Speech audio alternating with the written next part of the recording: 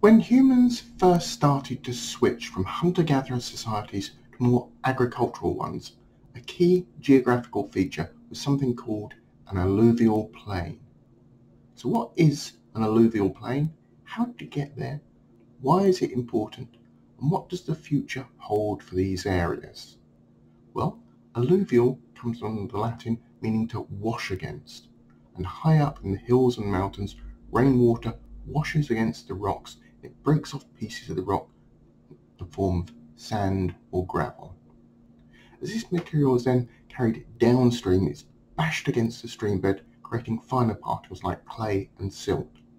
Now some of this material is carried further downstream, and other parts go into forming the banks of the rivers and other deposits. Now this does mean that during periods of heavy rain, these other deposits can be carried downstream, turning the river into a muddy brown colour. And when this excess water and mud get further downstream, the banks of the river are lower, and so the excess water can then burst the banks of the river, creating a floodplain by the side of the river, depositing all the material being carried by the river onto the land. The floodwaters will then slowly drain away, leaving behind the soil which has been carried by the flood to settle in the lower parts of the areas of the land between any hills, gradually smoothing out the terrain in the process. As this process then repeated over time, creating a fairly flat, fertile area. This floodplain, however, is a fairly localized event, so floodwaters associated soil won't actually travel that far from the banks of the river during a flood time. Over time though, the river will keep on bursting the banks, when this happens higher up in the river, the river will then change course and follow a different path to the ocean. Future periods of heavy rain will again cause a new path of the river to burst its banks and create a new floodplain in another area. When you have several of these floodplains are created next to each other, they eventually create the alluvial plain. This wide, relatively flat area near to a water source makes an almost ideal area for building settlements and creating farmland to support the settlements. This is often why those early civilizations decided to choose alluvial plains to settle in.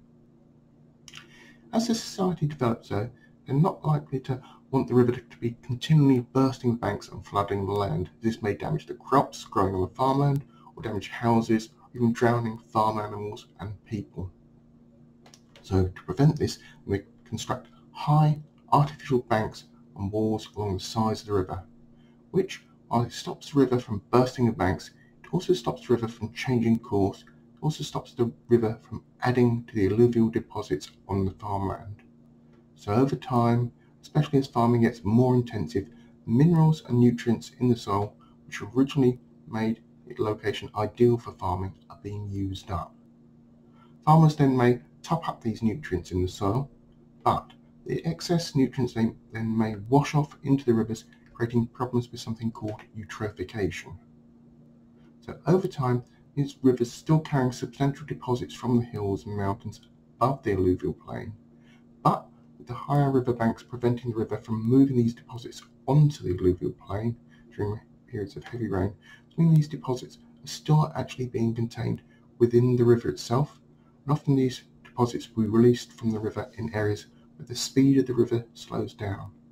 Now this can happen in bends of the river or at a lake along the river course, potentially turning it from a lake into a mudflat, and finally the material could be deposited where the river meets the ocean. For large rivers, these deposits may represent millions of tons of material, which could then be removed by dredgers. Dredging, however, can create its own problems, starting with the disruption of the organisms living in the river, including things like fish spawning, followed by the loss of water quality as all the silt is stirred up, reducing oxygen levels in the river, especially downstream from where the dredging point actually is.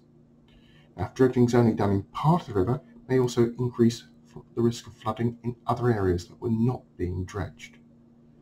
Then there's the problem of what to do with all the material that's being dredged up. Now while in theory dredged material can be useful, there's just too much of it to be used up, so disposal of the material can also create its own problems.